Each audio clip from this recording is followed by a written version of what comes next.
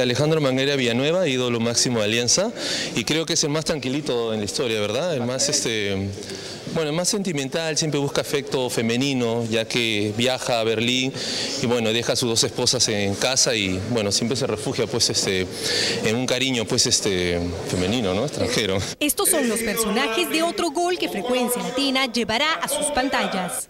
Son 10 capítulos que prometen atraparlo con la historia del polémico partido Perú-Austria que no nos dejaron ganar en los Juegos Olímpicos de 1936. Bueno, yo soy un presidente, el presidente de la época, eh, y nada, aparezco alentando al equipo para que vaya y triunfe en Berlín. Muy feliz de participar de esta miniserie y de contar una historia tan bonita como la que fue eh, la de esta selección en el 36.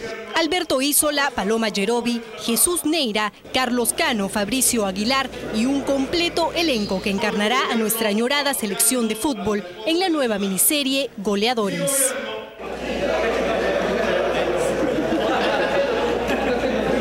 La miniserie está próxima a estrenarse y busca recordarnos el espíritu de dignidad con el que hace 78 años no sucumbimos ante el abuso y el racismo del más grande genocida del siglo XX, Adolfo Hitler.